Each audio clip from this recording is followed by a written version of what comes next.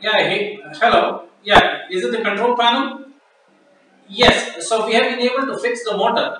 Now I need somebody to be at the control panel and on the phone with me to let me know what the readings are on the ammeter so I can slowly increase the load. I can't increase the load suddenly because the motor has just been fixed now.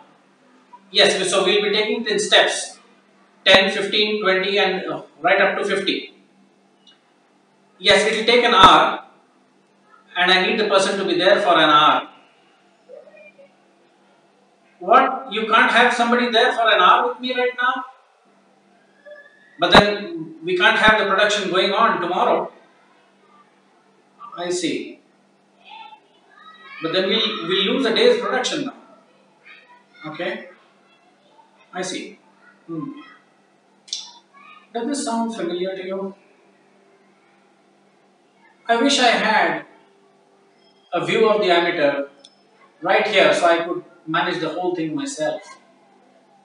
Something should have beamed the uh, ammeter readings directly here to the side and I could have just watched it and done my job. We could have had the production going tomorrow. Now we'll lose one day. Hi, I am Sudhir Brahma and I am the founder and developer of this company Wireless Controls. So uh, what you just saw in the earlier section or the earlier video was was a real life Angus of most of us engineers who have at some point worked in the maintenance department or various departments where the access to live data or live information was critical to doing the present task. At each point, we always felt that some that some of that data should be beamed at the point where, where we are working.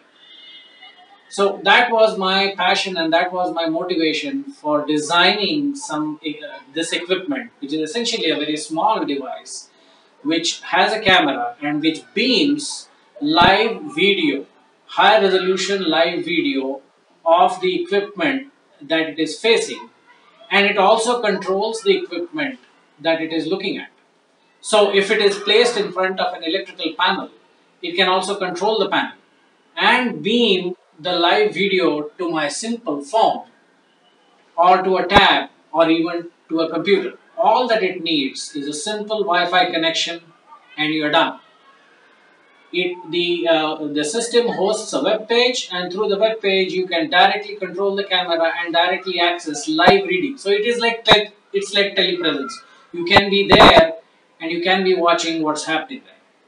So one of the key parts here is the way I am doing the encoding of the video.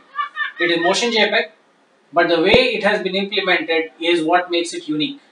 That plus the ability to control devices makes this device stand apart and makes this device something which can be adaptable to equipment.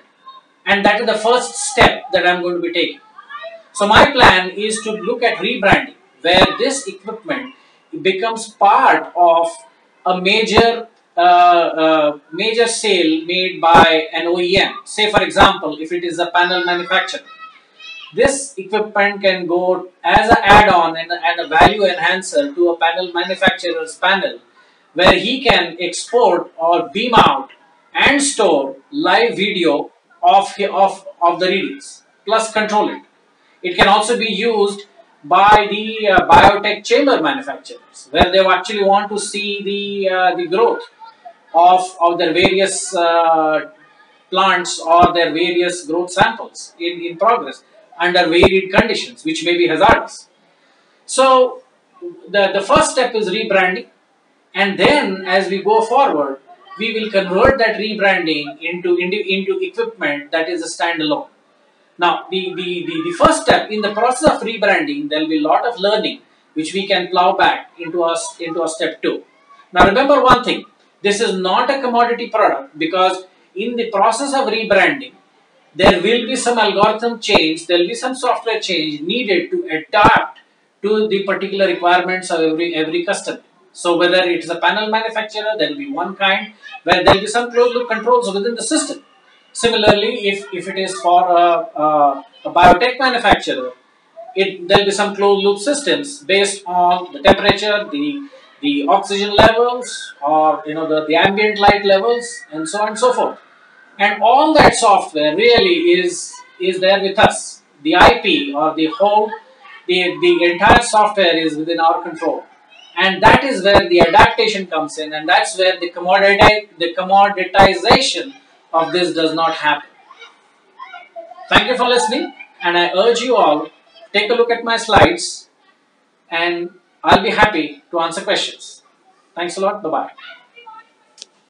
Hi, just once, one last thing before I leave you.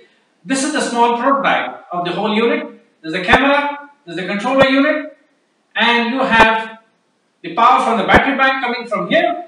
You have the relay, and you have transmitter. That's that's this device. It gets connected to a transmitter, and the transmitter beams out the stuff to your phone, to your laptop, or to your tab. I've taken a few uh, shots which you may uh, want to see and I will leave you with that. Thanks a lot for watching. Bye-bye.